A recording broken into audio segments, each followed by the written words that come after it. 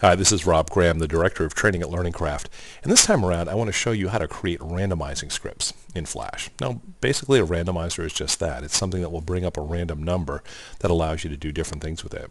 Now, it could be involved in things like gameplay, where you want to be able to roll the dice, and as a result, you want to be able to know what the value of each die is in the process. And we could use a randomizer for something like that. The basic approach to randomizing is really to generate a number that you can use to do something else. So how do we generate this number? Well, to begin with, let's set things up a little bit for the purposes of our experiment here today. I'm going to go and grab just a very quick graphic. There we go. And this will be the basis for a button. To create this, I'm going to go up to my Modify menu, say Convert to Symbol, and uh, I'll make it into a button. We'll just name this something creative like Button 1. There we go. Now I'm not going to really play around with the, uh, the over and down states for the button. I'm just going to use it as a trigger. And what I really want to do is I want to create a script that I can attach to this button that will give us some sort of an answer that we put in a field here. So I'm going to create a field and uh, let me just, there we go. That should be sufficient. Pull it down a little bit here. Okay. Now, with regard to the field, just to let you know, um, the field that I'm using here, I'm setting as a dynamic text field. I don't want to have static text, and I don't really need input text. Dynamic text allows the computer to write content to this field. Input text would allow an end user to put something into this field. So dynamic is where I want to be. Now, in order for me to talk to the field or to put content in the field, I need to refer to it by its name. There are two places that you can name fields, and they're actually different. One we have right here is an instance name, and one we have here is a variable name. And let me explain the difference to you very quickly. The instance name allows you to talk to the physical field itself. So for example, if I wanted to create some sort of a script that would move this object around or refer to this object, then I would put it here in the instance name and I would use it that way. However, if I want to talk to the content inside the field, regardless of where on the screen it ends up, then I will talk to its variable name. So in this case, let's just give it some sort of creative name like uh, input field. Ah, how about randomizer field? Okay. Now I'll also point out that the names that you use for your variables are case sensitive, which means that I have a capital R and a capital F in my name randomizer field. And if I want to make reference to this field anywhere along the way, I have to make sure that I keep the same nomenclature, the same uppercase and lowercase combinations. Otherwise, it won't understand what I'm trying to tell it to do. Now to begin with, I just want to create a script that will allow me to put a random number in this field. So I'm going to select my button here and go into my Actions button window.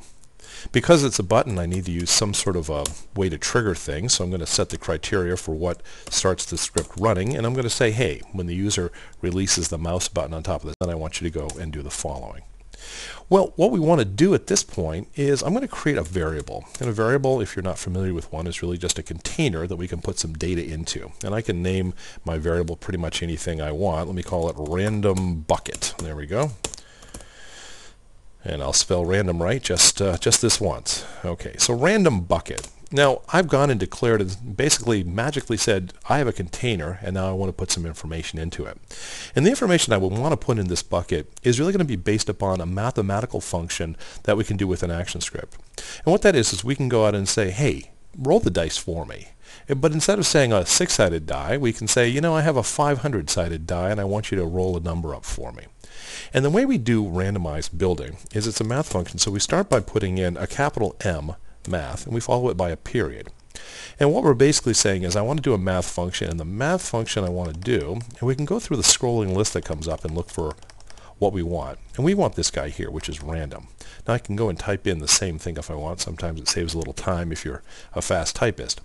And what this is saying, okay, I want you to take the math random of the number I'm about to give you, and what we're going to do is put that value here in what we've called random bucket or Radum bucket here. Let's go make sure we spell things very correctly. Now I go and I put in a multiplication symbol because this will take the content and allow it to be broken down. And then I decide what number it is I want to use as my randomizer. Now let's just say for the sake of, our example that we want to create uh, a die. We're going to create some sort of game where you can roll a die and get a number from 1 to 6. If I structure it like this, the way randomizers work within ActionScript is that they always start at 0. So the answer that's going to come back if I run a random of 6 is 0 through 5. Now, I don't know about you, but the last time I played a board game, 0 rarely comes up as one of the values we want on a die. And the way we get around this when we create randomizers, if we want our numbers to always be above 0, is simply by adding a 1 to whatever answer the randomizer comes up with. So in this case, a value of 6 will generate a random number of 0 through 5. So if we just say, oh, by the way, add a 1 to it, then anything that gets generated will automatically have a 1 added to it as the final answer, and so that will give us the values of 1 through 6. Okay, now let me put a semicolon here.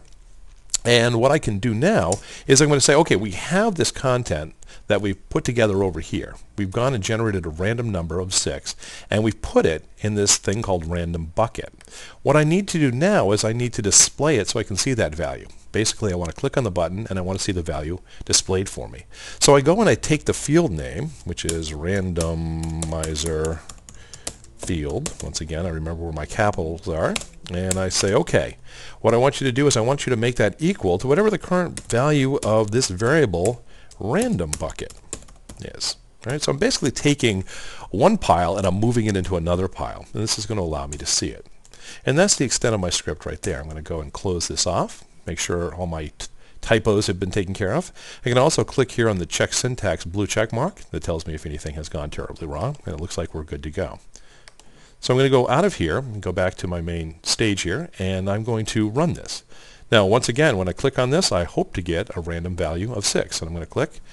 And there it is. It's telling me 4.1190, blah, blah, blah. Okay, now if I click it again, there's a 3, and there's another 3, and there's a 6, and there's a 2, and there's a 6, and there's a 2.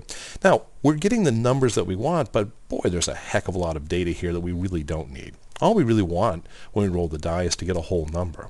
And we have a decimal point with lots and lots of trailing values, which might come in handy for trying to land something on the moon, but playing a board game, not nearly as important. So let me show you how we might take care of this. And once again, if I go into my button, what I can do is I can modify my randomizing script so that it basically will truncate the decimal and all the trailing information. And the way we do that in ActionScript is I'm going to put another math function in here. So I'm going to say math. And the function I'm putting in is something called floor. And floor is basically a way of saying just kind of chop it off at the floor. We don't need to have anything beyond a certain point. In order for this to work, however, I need to make sure that I put the first value in parentheses. That's what I'm doing now.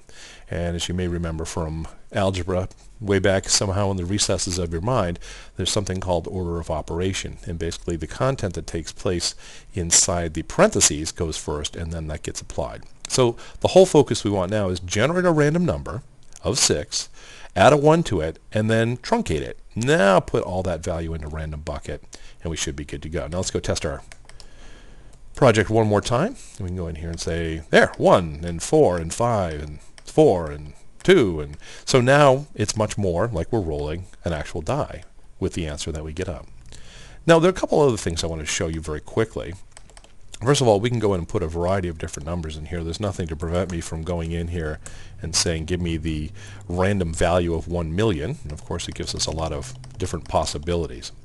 Oftentimes, however, there's a range of numbers that you want to work with.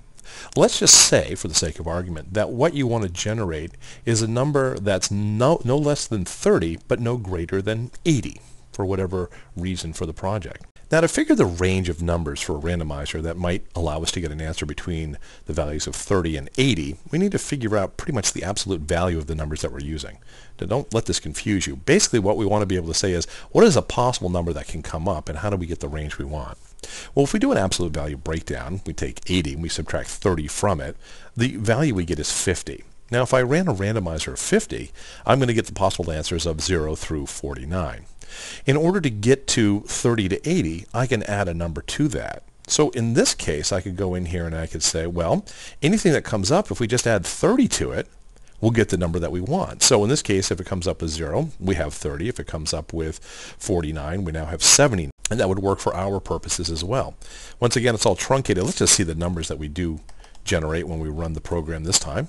And we should be having pretty much everything that we create is going to be roughly between the values of 30 and 80. So for the most part, we can go in and create a range. If you don't want anything less than a certain point or anything larger than a greater point, just figure out the absolute value between those two variations and you should be good to go. Feel free to go out and play around with it. It takes a while to wrap your mind around how to do this, but uh, hopefully this will save you an awful lot of time in getting up to speed with using randomizers.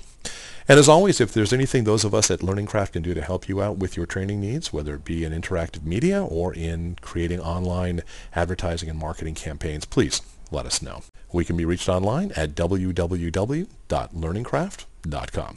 This is Rob Graham. Thanks so much for your time, and I hope to see you real soon.